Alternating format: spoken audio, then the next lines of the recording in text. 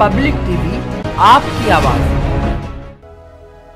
अनीता अग्रवाल सदस्य, उत्तर प्रदेश राज्य बाल अधिकार संरक्षण आयोग द्वारा जनपद मुरादाबाद में जिला अस्पताल शोभना खुला बाल आश्रय गृह राजकीय संप्रेक्षण गृह मुरादाबाद और झांझनपुर आंगनबाड़ी केंद्र में निरीक्षण किया गया। CNCU ward, kangaroo ward, PICU ward और ऑक्सीजन प्लांट आदि का निरीक्षण किया गया। यहाँ की व्यवस्था उन्होंने संतोषजनक पाई तथा जिला अस्पताल में पीकू वार्ड को डेंगू, मलेरिया और अन्य प्रकार की बीमारी के लिए उपयोग करने के निर्देश दिए।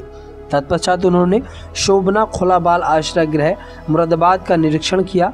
वहाँ की जगह बदलने के लिए निर्देश दिए और राज्य के संप्रेक्षण गृह किशोर मुरादाबाद में निरुद्ध पेटी क्राइम में लिप्त बच्चों को जल्द से जल्द रिहा करने के लिए भी और मंडल मुरादाबाद में अन्य जनपदों में किशोर संप्रेक्षण गृह खुलवाने के लिए निर्देश दिए। झांझनपुर आंगनबाड़ी केंद्र मुरादाबाद का निरीक्षण किया गया और पोषण का वितरण किया गया। कार्यक्रम अधिकारी द्वारा बताया गया कि जनपद मुरादाबाद में विभिन्न एनजीओ द्वारा आंगनबाड़ी केंद्र को गोद लिया गया है। उसके बाद माननीय सदस्य द्वारा पीएम केयर फॉर चिल्ड्रन योजना से लाभान्वित बच्चों से वार्ता की गई। इसके बाद सर्किट हाउस में समीक्षा बैठक के बाद पत्रकारों से वार्ता की गई, जिसमें जिला प्रोबेशन अधिकारी, जिला बेसिक शिक्षा अधिकारी, जिला श्रम प्रवर्तन अधिकारी, जिला विद्यालय निरीक्षक, जिला कार्यक्रम अधिकारी ACMO child line anti human trafficking unit S J P U CO highway बाल कल्याण समिति, किशोर न्याय बोर्ड, जिला बाल संरक्षण इकाई इत्यादि उपस्थित रहे।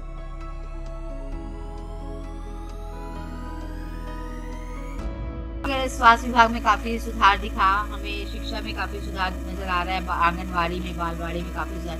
थोड़ा सा जो, बच्चों का सुधार गृह है, उसमें बच्चे ज़्यादा हैं, कैपेसिटी कम है, उसके लिए हम बात कर रहे हैं, उसको हम ठीक कराने की कोशिश करेंगे कि ताकि वो बच्चे थोड़े और कई जगह शिफ्ट हो जाए, ताकि वो और बाकी थोड़ा सा जो अनाथ आश्रम बच्चे हैं, जो मतलब उन बच्चों में थोड़ा सा उसकी जगह चेंज करने की बात है, क्योंकि वो एक संस्था चला रही है।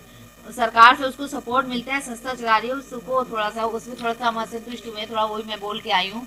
और मैंने इनको दायित्व दिया है, जो आंगनबाड़ी जिनका बहुत काम मुझे अच्छा लगा, इनसे मैंने कहा कि आप इसको थोड़ा देखिए, उसकी जगह चेंज करिए आखिरी बार मैं आऊँ तो मुझे उसमें सुधार दिखना चाहिए। उसमें थोड़ा मुझे असंतोष हुआ है।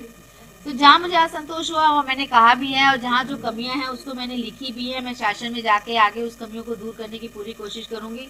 और सबसे बड़ा मिशन जो हमारा है, भिक्षा मांगना। छोटे बच्चे जो भीख मांगते हैं। और जो लेबर है, इन पे ज़ोर ज़्यादा है कि कम से कम छोटे बच्चे जो है, हमारे देश का भविष्य है धरोहर है, इनके हाथ में कलम और किताब होनी चाहिए। ना कि भिक्षा होनी चाहिए, ना कि मजदूरी होनी चाहिए।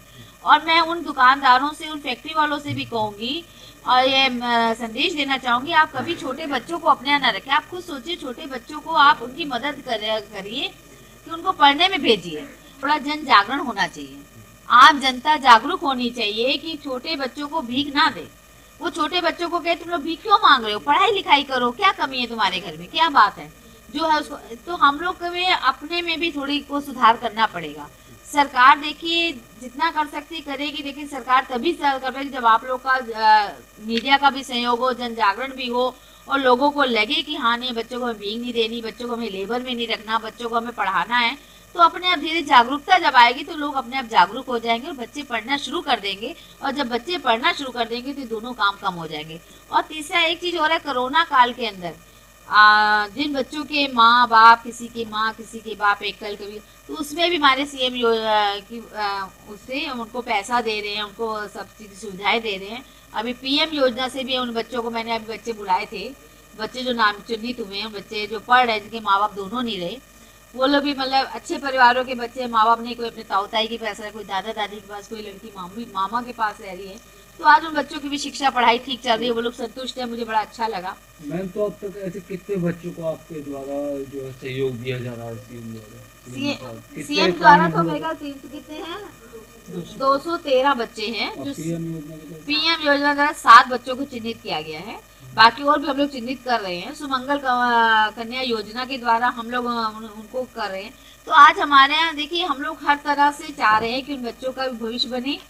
और हर योजनाएँ चला रहे हैं और जो निचले एक हमारे, देख हमने बताया दीन दयाल की जो हमारी है अंत्योदय तक, हम उस तक जाना चाहते हैं कि जो बिल्कुल निचले स्तर तक का व्यक्ति है, वो भी उभर के ऊपर है वो भी आगे बढ़े। अभी एक मामला आया था सामने तेरह तारीख को। इसके अलावा एक सवाल मेरा यह है कि क्या कोई इस तरह का कोई गंभीर मामला अभी कोई नज़र आया आपके जहाँ पर जिसमें बदलाव होने की आवश्यकता है?